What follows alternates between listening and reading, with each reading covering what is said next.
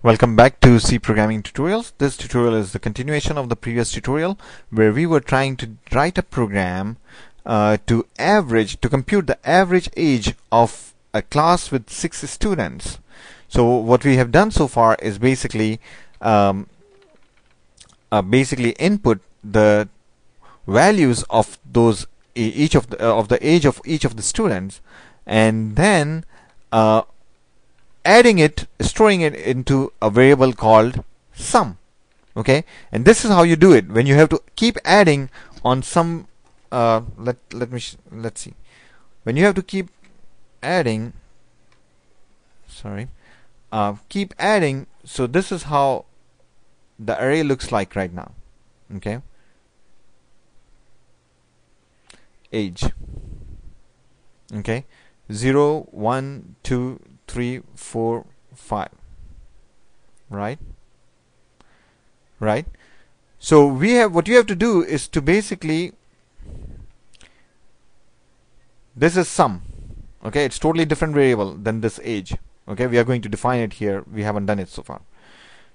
What we are going to do is we are going to start with 0. Okay, now suppose these are the values here 9, 10, 9. Okay, so we first thing we do is we basically take this, the value of sum which is 0 and add it to the first element which is the zeroth element which is the element number 0 of, of this array and put this in here right?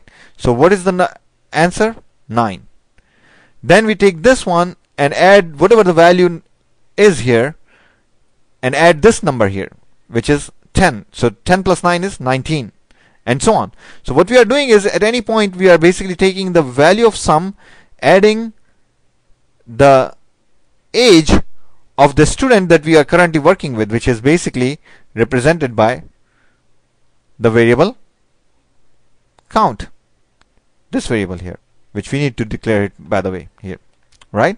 So we keep on putting this, accessing this age, this element, and we keep on moving count from 0 to 5 and adding the current value and storing it back into into the sum here right now. Okay? So that again it can be used for the next value next addition next addition next addition and next addition. That way we will have the sum of all these numbers stored in here when we are done with it when we are done with this for loop. Okay? So let's see. So first thing let's declare those variables. Integer sum integer uh, count.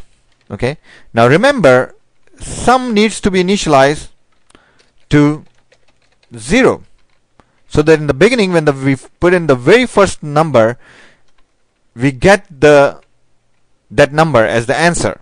Okay? If we don't initialize sum to 0 it will use whatever the garbage value is going to be in there. Remember, we are talking about memory. There is no guarantee what the value is going to be until you specify what the value is going to be of any variable. Okay, so it is very important before you use any variable, you initialize it. So we initialize sum to zero. Why did not we initialize count?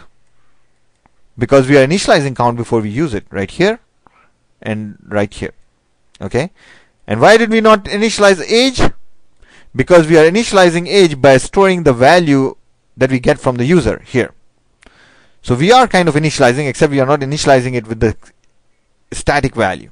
Okay.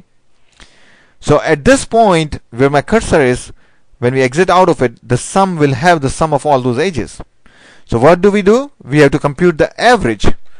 So average is equal to, as you, we all know, sum divided by the total number of elements, which is 6. Okay. So we divide it by 6. So let's declare, don't forget to declare average. So now we have the average age in the variable average. What do we do?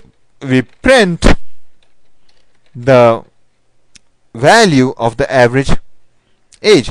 The average age of the class is percent %d. So the number will go here average. There we go. Okay, very simple. Let's see if this program works.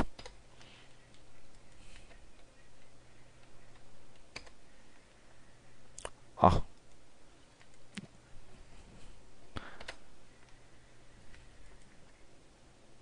Okay, press F9 and here we go so enter age of student 0 see how it substituted the value of count which is 0 in here.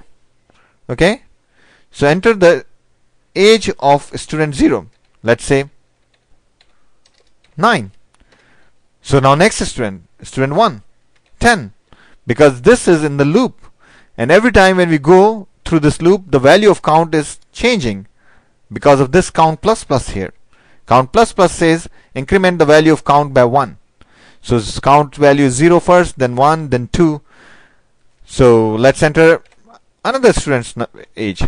And then 11 and then uh, you know 14 and then 12 okay? Now see we are done with all six of them. 0 1 2 3 4 5 okay? All six of them. It should not ask me any more if it does there is a problem there is a bug in this program. Okay? So let's see. Good. It did not ask us anymore. And then it computed the sum and then it computed the average and then it printed the average. So next thing we saw we don't see how it computes. It computes in a fraction of a second. Vroom, it's done. So we don't see how it computes. The next thing we see is this message here only notice only thing we are seeing is printf and whatever we enter as a result of scanf okay? So it says the average age of the class is 10 and if you have time you can basically add all these numbers together and then divide it by 6 you will get 10 now notice that you know you may not get exact 10 you may get fractions here. But why we are not getting fraction here? Because our average is defined as an integer which means that no fractions only integers if we really needed fractions what we would have we could have done is basically define this as a float a float, as I said in the very beginning in one of the earliest tutorials, float is a data type, just like integer, except it can store numbers as, you know, 2.1, for example. Okay? So if we declare it as float, and what other thing we will have to do is, if we declare sum as floating point also, float is from floating point. Floating point means that the point can go from one place to another, which means it could be 2.14 or it could be 221.3 or whatever you know. That's that's why it's called float okay? Now the way to print float now remember this average is not integer. It was integer before so the way to print integers is using percent %d the way to print float is using percent %f. So let's run this program and see what what it does now. Oh okay. There we go. So I'll real quick enter because I'm running out of time. 2 3 6 4 3 5 3 and look at this. The average age of the class is 3.66667 see now it's printing it all in decimals because we declared average as float. So if you need the approximate age, you don't even have to do that. You just keep it as integer the way it was before, and you will get an approximate age. But it's not quite, it's not going to be quite approximate. It's basically, if in this particular example, it would have been a 3, not 4. Whereas here, the if you approximate and round off, it should be actually equal to 4 because it's closer to 4 rather than 3. But integer doesn't do that.